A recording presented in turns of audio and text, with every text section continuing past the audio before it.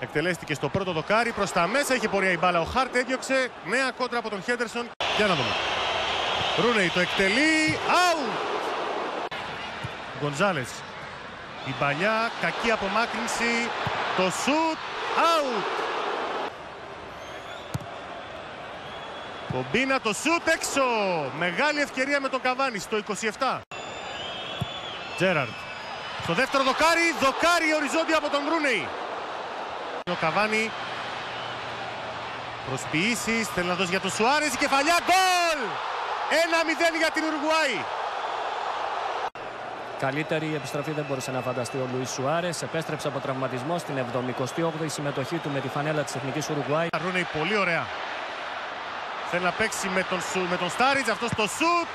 Μουσλέρα σε κόρνερ.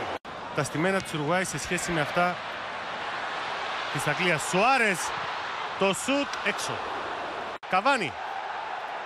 Σουάρες. Ο Λοδέιρο είναι. Καβάνι από κοντά. Έξω.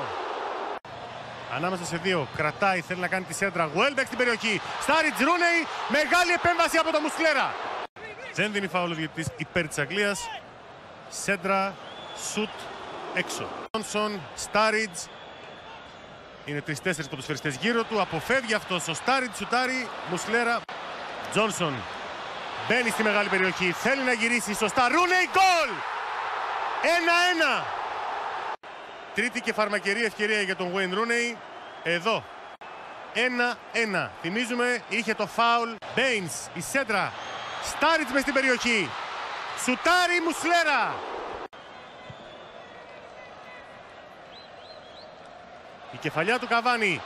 Σουάρες μες στην περιοχή. Δεν είναι offside. Γκολ! 2-1. Η μπάλα στα δίχτυα του Χάρτ. Κακή αντίδραση της άμυνας της Αγγλίας. Είναι η εκτελεστική δυνότητα του Σουάρες. Άλλο πράγμα έτσι κι αλλιώς. Τζέραρντ το σούτ έξω.